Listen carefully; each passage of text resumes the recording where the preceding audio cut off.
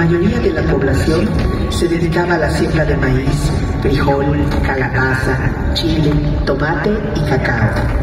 El tributo que entregaban alimentó a la clase dirigente y a los constructores y escultores de los recintos ceremoniales, artesanos, pintores y escritores de los códices, quienes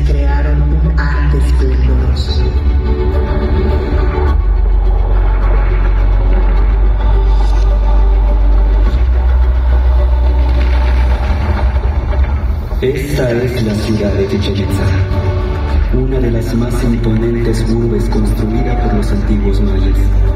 Su mayor esplendor tuvo lugar entre los años 900 y 1200 de nuestra era, cuando llegó a ser habitada por más de 50.000 personas.